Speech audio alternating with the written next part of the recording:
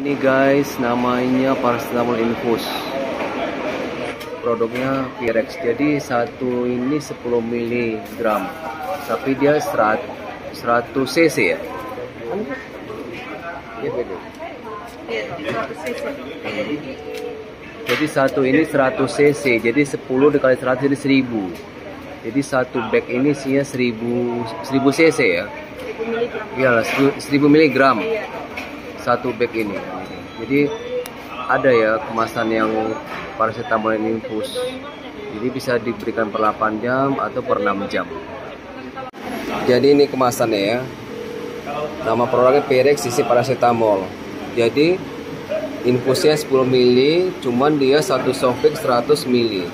Jadi satu apa namanya satu bag itu isinya 1000 mg.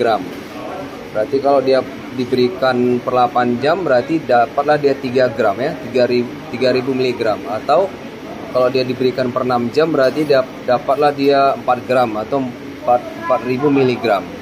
Jadi kasus-kasus yang orang yang demam bisa diberikan infus ini.